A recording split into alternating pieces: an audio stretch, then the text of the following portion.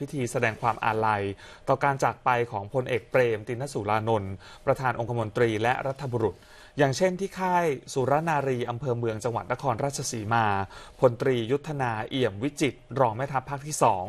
นำกำลังหน่วยขึ้นตรงภายในค่ายสุรนารี และค่ายสุรธรรมพิทักษ์ ประกอบพิธีวางพวงมาลาดอกไม้สด หน้าอนุสาวรีย์รัฐบุรุษพลเอกเปรมตินสุรานนท์เพื่อแสดงความคารวะและไว้อาลัยที่ท่านได้สร้างคุณูปการให้แก่กองทัพและประเทศชาติ อีกทั้งยังเคยดำรงตำแหน่งอดีตแม่ทัพภาคที่ 2 อีกด้วย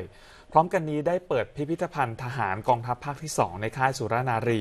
ซึ่งมีการจัดแสดงประวัติของพลเอกเปรมให้ประชาชนได้เข้าชมด้วยครับ ส่วนที่หอจดหมายเหตุพลเอกเปรม ตินสุรานนท์อำเภอเมืองจังหวัดนครศรีธรรมราช นายวิรัตรักพันธ์รองผู้ว่าราชการจังหวัดพร้อมหัวหน้าส่วนราชการ นักเรียนนักศึกษาประชาชน ร่วมลงนามแสดงความอาลัยต่อการจากไปของพลเอกเปรม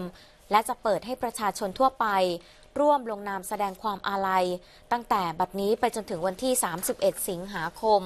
ระหว่างเวลา 8 นาฬิกาถึง 18 นาฬิกาของทุกวัน ไม่เว้นวันหยุดราชการ ที่สารกลางจังหวัดศรีสะเกดนายวีรศักดิ์วิจิตแสงสีผู้ว่าราชการจังหวัดนำส่วนราชการและประชาชนชาวจังหวัดศรีสะเกดยืนสงบนิ่ง และร่วมลงนามแสดงความอาลัย ต่อการถึงแก่อสัญญกรรมของพลเอกเปรม พร้อมเปิดให้ประชาชนผู้ติดต่อราชการ ได้มีโอกาสร่วมลงนามแสดงความอาลัย ไปจนถึงวันที่ 2 มิถุนายนนี้ค่ะ ปิดท้ายที่ห้องประชุมสารกลางจังหวัดพิษณุโลก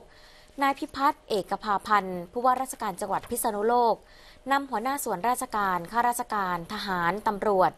ลงนามแสดงความอาลัย โดยนำภาพถ่ายพลเอกเปรมตั้งไว้ด้านหน้าโต๊ะลงนาม และประดับตกแต่งด้วยดอกไม้สีขาวอย่างสวยงาม เพื่อแสดงความอาลัยอย่างสุดซึ้ง